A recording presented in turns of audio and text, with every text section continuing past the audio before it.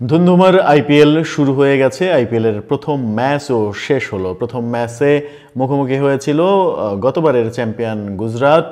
প্রথমবারের মতো আইপিএল খেলতে এসেই গতবার রীতিমতো চমকে দিয়েছিল নতুন করে হার্দিক পান্ডিয়া। কত বড় অধিনায়ক ভারতের ভবিষ্যতের জন্য সেটি দেখিয়ে দিয়েছিলেন, চমকে দিয়েছিলেন সবাইরে গুজরাট তার হাত ধরেই তার নেতৃত্বেই চ্যাম্পিয়ন হয়েছিল। তার সঙ্গে চেন্নাইয়ের খেলা, খেলাটা জমজমাট খেলাই হয়েছে। কিন্তু চ্যাম্পিয়নরা যে কথা শুরুর ভিডিওতে বলেছিলাম, চ্যাম্পিয়নরা চ্যাম্পিয়নের মতো শুরু করতে পারবে কিনা, সেভাবেই তারা শুরু করল। চেন্নাই প্রথমে ব্যাট করে একশো আটাত্তর রান জমা করে তাদের স্কোরবোর্ডে। সেই একশো আটাত্তর রানটা বোধহয় একটু কমই হয়ে গিয়েছিল গুজরাটের মতো দলের জন্য। যে দল বর্তমান চ্যাম্পিয়ন, সে কথা খেলা শেষে ধোনি বলেছেনও যে পনেরো বিশ রান হয়তো শর্ট ছিল, সেই রানটা তারা করতে পারলে ম্যাচটা তাদের হতে পারত। কিন্তু একশো উনআশি রানের টার্গেটেই যখন গুজরাট খেলছিল, তখন ধোনির অধিনায়কত্বে উজ্জীবিত চেন্নাই শেষ মুহূর্তে কিন্তু জয়ের আশাটা তৈরি করেছিল। গুজরাট শুরু থেকে দুর্দান্ত খেলেছে শাবমান গিল এবং ঋদ্ধিমান সাহা ওপেন করেছেন দুজনের ওপেনিং জুটিতে। একটা ভালো রান এসেছে গিল শেষ পর্যন্ত তেষট্টি রানের একটা অসাধারণ ইনিংস খেলেছেন মাত্র ছত্রিশ বলে। শাবমান গিলকে এই মুহূর্তে ভারতীয় ক্রিকেট দলের সব থেকে বড় সম্পদ মনে করা হচ্ছে এবং সাম্প্রতিক সময়ে তার ফর্ম সেটি বলে দিয়েছে। সেই শাবমান গিল জাতীয় দলে অন্তর্ভুক্ত হওয়ার সঙ্গে সঙ্গেই সবাইকে চমকে দিয়েছেন বিপিএল আইপিএলটাও বিপিএলের কথা এসে যাচ্ছে কদিন আগেই। আমাদের বাংলাদেশে বিপিএল শেষ হয়েছে, এর ফাঁকে পিএসএল শেষ হয়েছে পাকিস্তানে। এবার আইপিএলের জমজমাট লড়াই, সেখানে শাবমান গিল কিন্তু প্রথম ম্যাচেই বুঝিয়ে দিলেন যে জাতীয় দলে তিনি কত বড় একটা সম্পদ। গুজরাটের জয়ের পেছনে সবথেকে বড় ভূমিকা তারই ছিল। কিন্তু ম্যাচটা শেষের দিকে নাটকীয়ই হতে যাচ্ছিল। যেমন প্রথম দিকে গুজরাটের যে রান তোলার গড় সেটা নয়ের বেশি, দশের কাছাকাছি এরকমই হয়ে যাচ্ছিল। শেষ পর্যন্ত শেষের দিকে মনে হচ্ছিল যে তাদের জন্য ম্যাচটা খুবই সহজ, সহজেই জিতে যাবে। কিন্তু শেষ দিকে, শেষ চার পাঁচ ওভারে দারুণভাবে কিন্তু চেন্নাই ঘুরে দাঁড়িয়েছিল। চেন্নাই একশো আটাত্তর রানের যে ইনিংস গড়েছে তাতে ওই ঋতুরাজ গাইকোয়াড তার অসাধারণ একটা ইনিংস দেখেছি আমরা। বিরানব্বই রানের ঝকমকে একটা ইনিংস খেলেছেন তিনি, মাত্র পঞ্চাশ বল খেলে।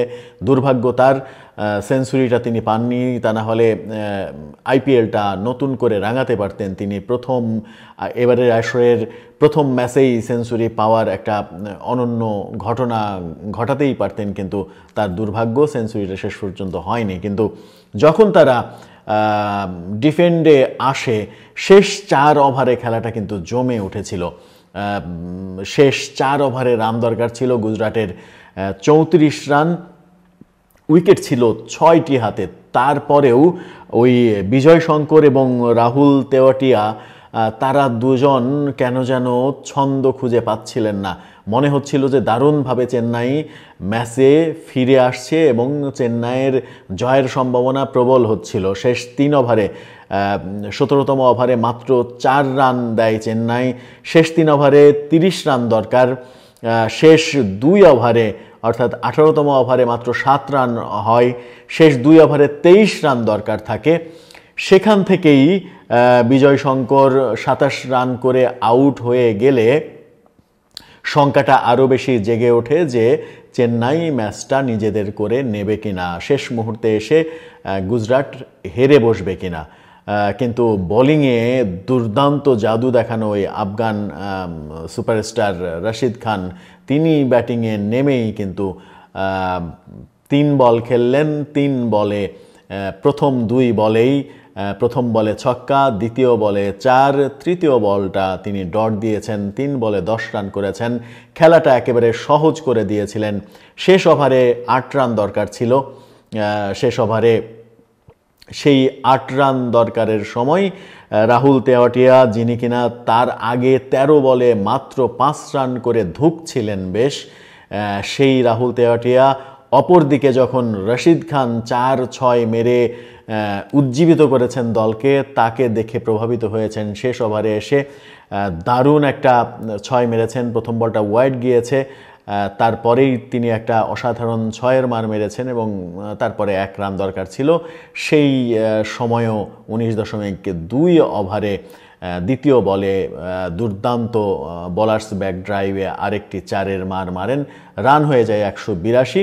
সুতরাং যে সন্দেহটা তৈরি হয়েছিল, ধোনি যেভাবে গুছিয়ে এনেছিলেন কিছু কিছু ছোট ছোট ভুল রশিদ খানকে ছক্কা মারতে দেয়া, তার আগের ওভারে ধোনির একটা মিস করা, লেগ লেগ দিয়ে লেগ বায়ে চার হয়ে গেল। তিনি লাফিয়ে পড়েও বলটা ধরতে পারেননি। সেই সময় তিনি আহতও হয়েছিলেন।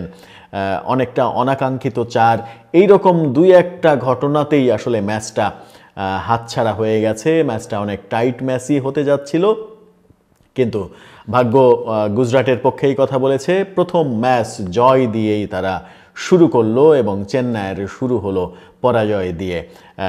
উল্লেখ্য, গতবার, গত আইপিএলে এই চেন্নাই গুজরাটের সঙ্গে যে দুইবার মুখোমুখি হয়েছিল, সেই দুইবারই কিন্তু গুজরাটের সঙ্গে তারা হেরেছিল। এই নিয়ে টানা তারা তিন ম্যাচই হারল গুজরাটের সঙ্গে। অর্থাৎ হার্দিক পান্ডিয়ার কাছে মহেন্দ্র সিং ধোনি তিন সাক্ষাতে তিনবারই হেরে গেলেন। এখন দেখা যাক, চতুর্থ সাক্ষাতে যেহেতু এই আইপিএলে আরেকবার তাদের সাক্ষাৎ হবে, চতুর্থ সাক্ষাতে কি ঘটে, নতুন কিছু ঘটে কিনা, হার্দিক পান্ডিয়াকে তিনি হারাতে পারেন কিনা। এই হলো খবর আজকের আইপিএলের প্রথম ম্যাচ। আইপিএলের দুর্দান্ত জমকালো উদ্বোধন হয়েছে। উদ্বোধন শেষে আহমেদাবাদের নরেন্দ্র মোদী স্টেডিয়াম ভারতের নতুন এবং সব থেকে পৃথিবীর অন্যতম বড় স্টেডিয়াম, এক লাখ দশ হাজারের বেশি দর্শক মাঠে বসে খেলা দেখেছেন। এই না হলে আসলে ক্রিকেট ক্রিকেট কতদিন যে এই রকম লক্ষাধিক মানুষ স্টেডিয়ামে দেখেছে এরকম দৃশ্য আমরা দেখিনি। আজকে আইপিএলের সুবাদে সেটা দেখা গেল। এক লাখ দশ হাজারের বেশি দর্শক মাঠে বসে থেকে দুই সুপার জায়ান্ট দলের খেলা দেখলেন এবং যথেষ্ট বলা যায় যে পয়সা উসুল হয়েছে তাদের। শেষ পর্যন্ত হারি হারি করেও গুজরাট চ্যাম্পিয়নের মতোই জিতে গেল।